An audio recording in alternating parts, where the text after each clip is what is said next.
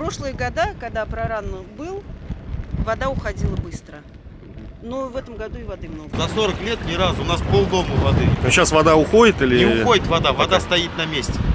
То есть проран тот не помогает, да, пока? Не помогает, надо взрывать плотину. Мгм. Потому что она очень сильно укрепленная и она очень высокая. Критическая ситуация складывается в селе Комсомольское Балаковского района. Здесь в зоне подтопления оказались жилые дома. Ночью вода прибывала очень быстро, и теперь в некоторые домовладения нельзя зайти. водичка начала поступать. Вчера вечером поздно первая информация пришла, что пошел приток воды. Максимально вот ухудшение ситуации произошло ближе к утру. Сегодня пиковые значения, практически пиковые значения по реке, которая у нас проходит в районе населенного пункта э, Комсомольская, ну, ситуация начала ухудшаться. Ряд близлежащих домов имели подтопление. Сюда выехала оперативная группа. Несмотря на то, что вчера был проделан водопропускной канал, он был недостаточно. И сегодня было принято решение данный канал увеличить, чтобы была пропускная способность э, на данной плотине пропуска воды, талых вод, чтобы она была увеличена. То есть максимально расширить этот канал, что было сделано. Такого объема воды в Комсомольском ни местные жители, ни спасатели, ни сотрудники управления ГОИЧС не припомнят.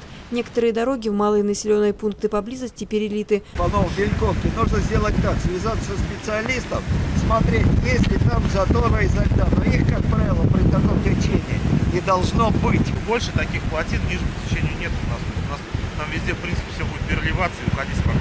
Вот теперь нужно контроль осуществлять. Да. Если есть спад, это хорошо. И дальше по течению смотрим, э, есть ли проблемы с э, ледяными заторами. Если их нету, то это 2-3 дня вода начнет уходить. Местные жители не покидают зону подтопления. Им необходимо спасти домашних животных, которые оказались в водном плену. На помощь сельчанам приходят спасатели. От эвакуации люди пока отказываются. Если требуется, мы готовы предложить э, их переселить, эвакуировать на то время, пока не спадет А вода. куда эвакуация происходит? Э, Мы можем и в Балаково, и в Новые лесы. Мгм. То есть это пункты временного размещения. Пока не такая сложная, но уже тревожная ситуация складывается и в другом селе Быково-Отрогского муниципального образования. Из Новополеводина стали поступать первые сообщения о повышении уровня воды. Те гидротехнические сооружения, водохранилище на реке Маянга, которое грани- э, идет с Марсовского района, и там была еще водопропускная система, канал был, вот, который сейчас не действует, тоже водичка оттуда пошла. Сейчас вот мы выезжаем на место, смотрим ситуацию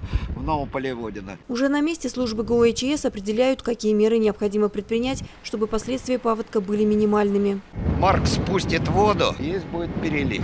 Будем созволен с дорожником подготовить гравий, который вот на более уязвимом месте можно будет подсыпать.